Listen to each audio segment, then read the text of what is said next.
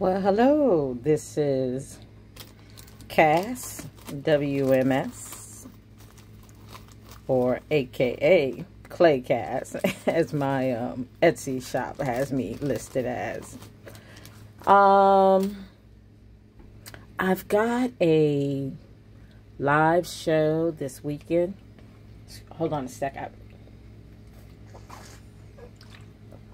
I apologize. I was just a little parched and I had to take a sip of my water.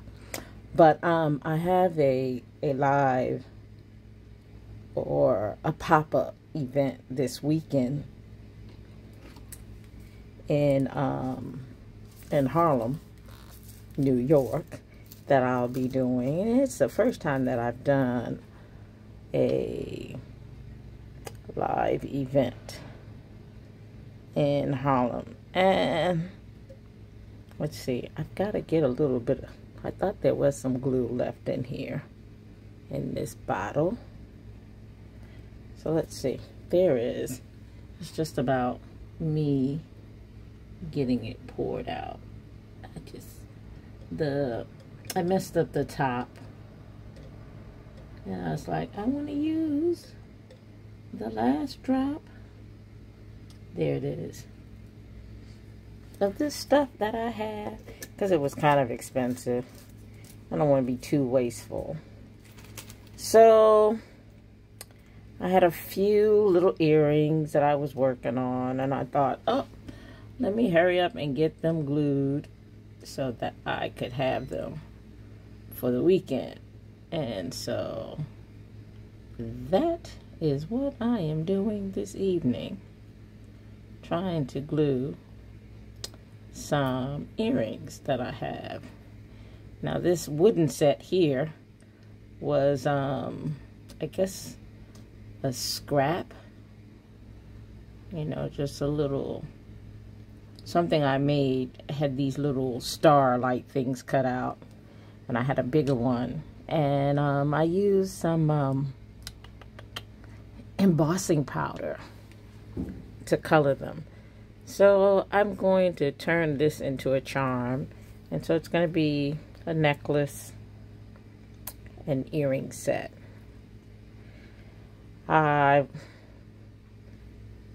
also had some of these um, sunflower, not sunflowers. Yes, they are sunflowers. I had these little sunflower things laying around. I thought, uh, you know, there could be another pot person out there just like me in love with sunflowers. So let me make me some little sunflower earrings. So I've got that, those done there. I've got a pair of little ones and then a pair of medium-sized ones.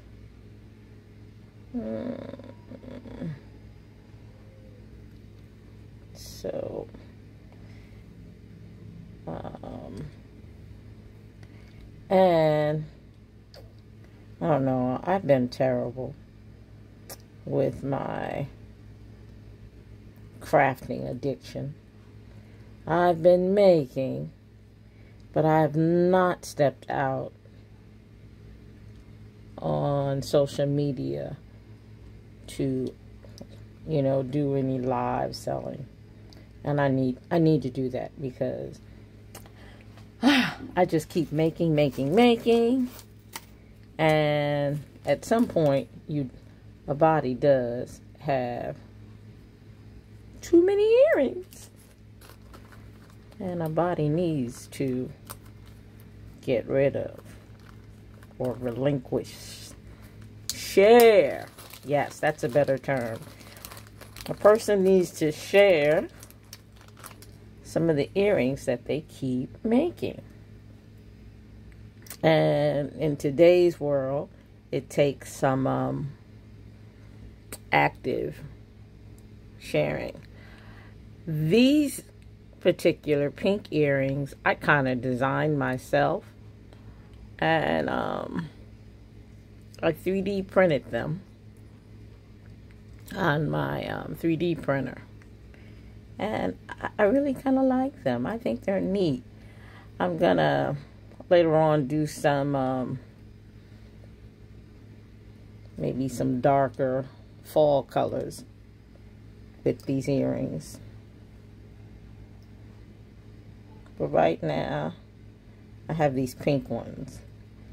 And so I do need to put some earring backings on them. And put them on some earring cards. And try to share them with the world. Help them find a new home. So, I've got those glued. And then, and I might have posted a, a video earlier, I also created these on my 3D printer.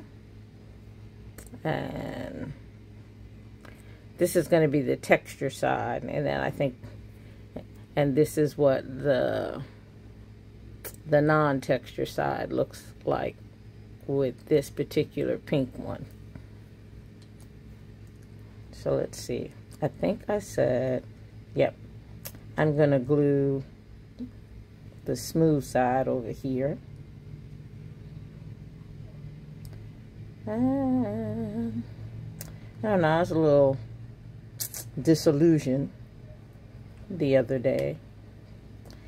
Um, was watching YouTube and a young lady was talking about how people could um, start their own business on Etsy and make money. And I'm embarrassed to say in some ways that I've been on Etsy. I've been on Etsy a long time. Maybe I won't say how long yet. but a long time. And I've not made a fortune, but um, I have made some sales.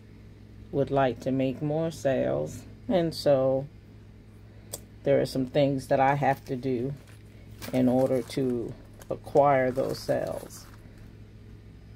Learn to use those SEOs better. Uh oh, this mood. What do I think. Oh, I kind of wanted it in the middle. Let's see. Uh,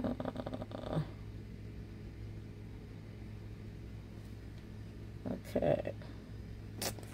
Um, so that, that that's all that's on me. I have to do those better. But I was kind of bummed out when I saw that people were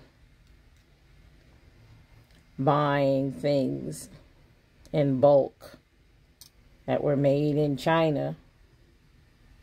And then they were handmade in China, some of the items. Because, like, I think the one main item that I saw was crocheted. So, ah, but maybe it might have been knitted. It, now, there are machines that can knit.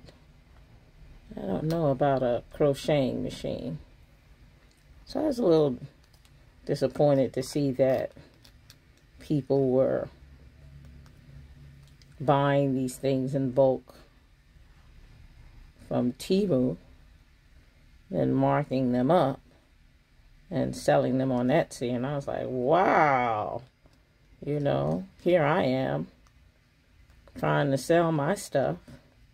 My stuff is handmade. especially the jewelry is handmade. I've added some um, math manipulatives that I designed on my 3D printer. And I am now trying to market and sell those. So, as I was saying, the notion of other people buying things in bulk from um, Temu and then marking them up and selling them on Etsy was like, oh, that's a little disappointing. I could remember years ago when Etsy was in this small old building in downtown Brooklyn I think it was on Gold Street. And it had old-fashioned elevator. I think you had the, instead of having a door door, it had a gate. You know, and I remember riding up in this this elevator upstairs to the um, Etsy headquarters. And it was very humbling back then. It was a humble place.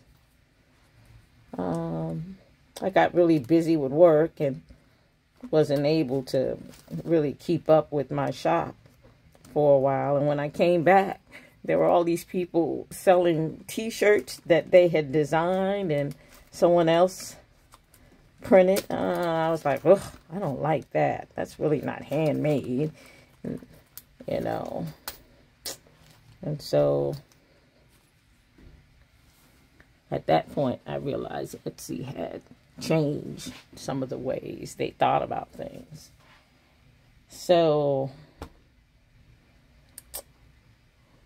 I now know that, like I said earlier, I have to step up my game and do some different things myself. I'm not going to cheat this system and start selling non-handmade things. Um, right. And I will be making my handmade jewelry. I'm going to incorporate some of my um, 3D printed items. And I may even incorporate selling some of the files that I designed myself, whether those digital files be SVGs or even um, 3D printed or 3D printing files, which are S STLs. I may even start creating some of those and offering them to people on Etsy.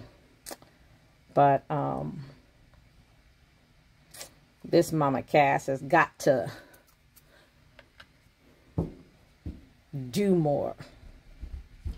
And and in another avenue, in the doing more, I have to start being more consistent with my YouTube channel. So that will have to happen also. But I wanted to glue these together so that I would have them for the weekend. And I thought it would be nice to found two more pairs. I've, I've got some. Now these need a little cleaning up, but I think I can glue them. And I don't know, I have mixed emotions about the shiny side versus the texture side. I think I want to have a set of shiny side. And hopefully I got enough glue still on here that I can glue those. So I'm going to have to find me a regular time and then sit down, do my little videos, and then upload them to my YouTube channel so that you and others can see the possibilities. Uh-oh, I don't know if I got enough glue there. Probably not. Whoa. I have to try to pour out a little more. And it's um a little dangerous pouring it out because you don't want to get it on your skin. It says, well, a lot of these um, glues say um, instant bonding. That that term instant only applies to human skin. Every everything else takes a little longer. Everything else takes a, a little longer. Matter of fact, a lot longer in comparison to the to the human skin. I mean, you touch this stuff to your skin, you are oh, you know what? I think I said I wanted to do the shiny side. See? Not even paying attention. Okay, okay, okay. So it will instantly glue flesh to flesh. And then I think I was, yes, I was watching this other jewelry creator, Crazy Matt. And he was saying if you get the glue on your hand, don't, or on your skin, don't wipe, you know, your skin with skin. Wipe it like on a fabric. Your jeans, if you're ready to ruin them, or maybe have a rag nearby that you can wipe them on. He said that's the way to get it off your skin and not glue yourself together. So, it's late tonight. And I'm going to say to toodaloo.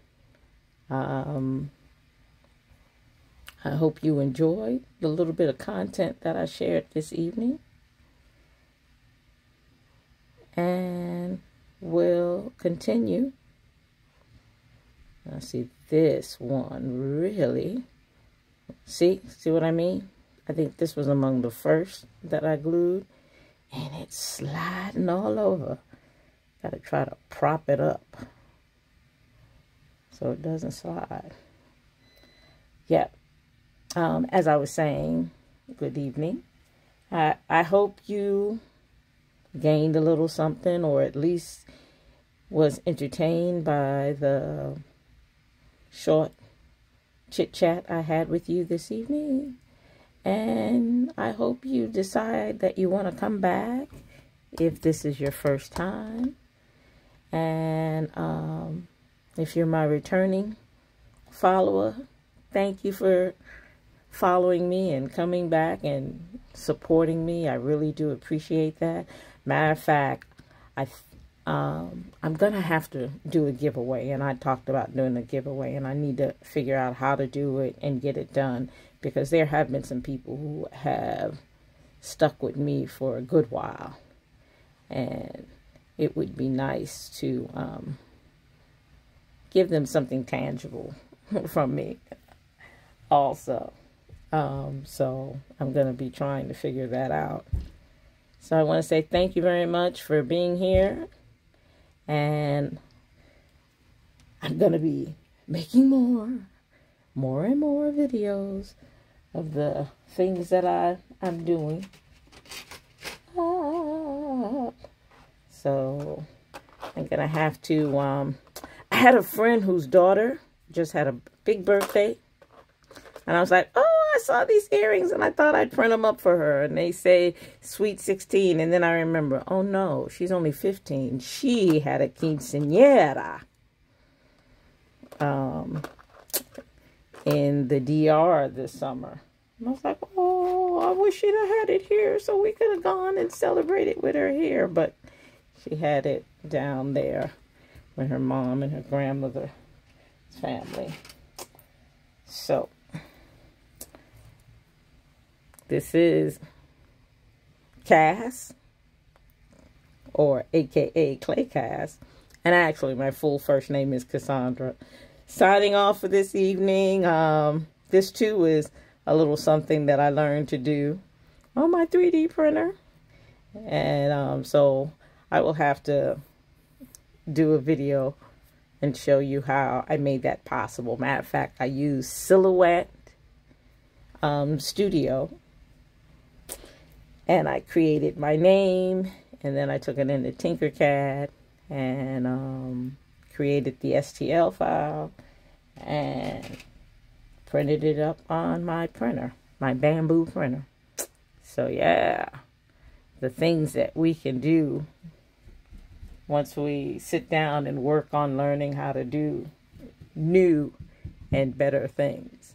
So I'm going to say goodnight this time for good. Uh, so good night. Take care. And see everyone later. Bye bye.